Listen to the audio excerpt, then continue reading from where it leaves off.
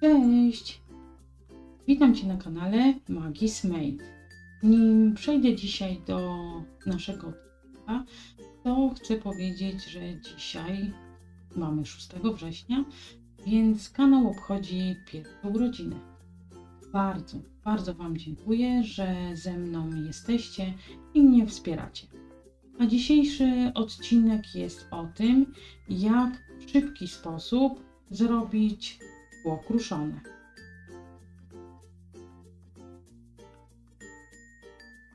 Kupiłam sobie takie szklane, bardzo ładne, obłe, szklane kamyczki. Niestety do prac z żywicą, do obrazów są one za mało naturalne. Za gładkie. Dlatego należy je pokruszyć. Pokażę Wam na małej ilości szkła, tak mniej więcej garść takich szklanych kamyczków. Układam je na patelni i podgrzewam, aż zrobią się bardzo gorące.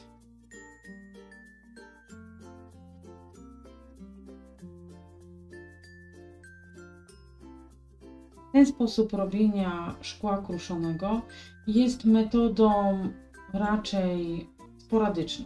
To znaczy, jeśli ktoś potrzebuje bardzo małą ilość, e, taką na własne potrzeby, na próby e, robienia takich obrazów e, z żywicą, lub na przykład ma zamówione szkło kruszone innego źródła, które z jakichś tam powodów jeszcze nie przyszło, a potrzebuje na już to szkło kruszone. Myślę, że na początek to jest dobry sposób. Łatwo można sprawdzić, czy praca ze szkłem kruszonym i żywicą nam odpowiada. To czekamy, aż szkło zrobi się bardzo gorące. W międzyczasie do miski wlewamy zimną wodę. Najlepiej jak dołożymy jeszcze do niej sporo lodu.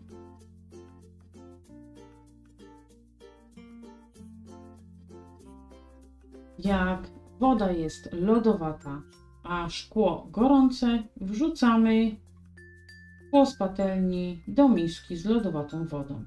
To spowoduje, że kamyczki szklane popękają. Zaburzy się ich struktura i będzie bardzo łatwo je rozbić. Wyciągnę teraz jeden kamyczek, żeby pokazać Wam o co mi chodzi. Tu już widać na łyżce. Zobaczcie, jak pięknie wewnątrz popękały.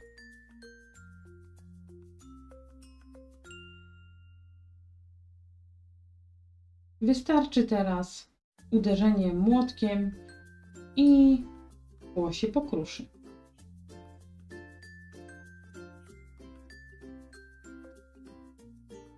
Teraz wyciągam e, kamyczki szklane i je osuszam.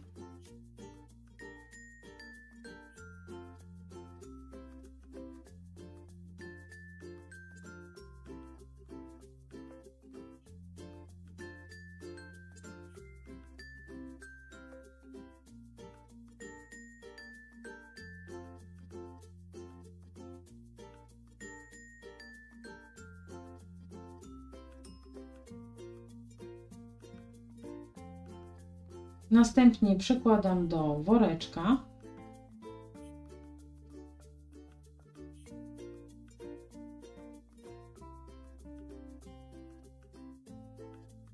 I idę z tym w bezpieczne miejsce. U mnie to będzie balkon. Pamiętajcie, żeby zabezpieczyć oczy i robić to w takim miejscu, żeby nie było zwierząt, dzieci, żeby było bezpiecznie.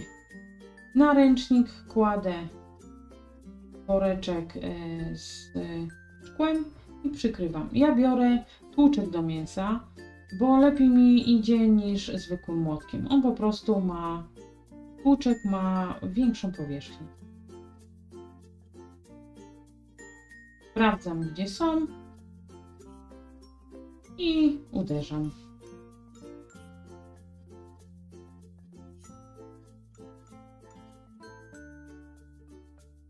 I sprawdzamy jak wyszło.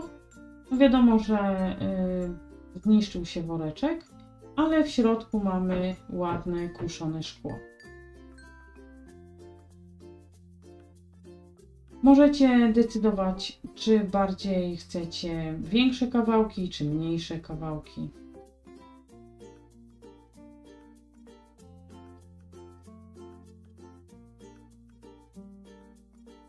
Dla mnie takie kawałki są idealne. I tak wygląda szybki sposób, a właściwie domowy sposób na zrobienie kruszonego szkła.